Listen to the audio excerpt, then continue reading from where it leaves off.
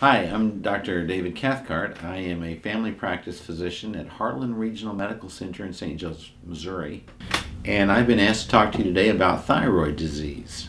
When somebody develops hypothyroidism, it's because at some point in time their thyroid hormone has slowly waned away, either because the thyroid organ itself just quit functioning or it burnt out, or perhaps it was attacked by your own immune system that caused it to overburn or overproduce and then it finally just burnt itself out.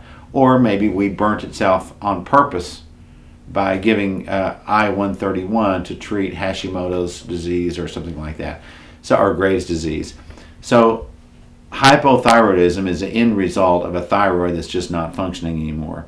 The symptoms are weight gain, they are uh, dry, unmanageable hair, uh, constipation, overwhelming fatigue, uh, lack of energy, um, and uh, dry skin. So those are the typical symptoms of hypothyroidism. This is Dr. Cathcart, and thanks for letting me talk to you about thyroid disorders.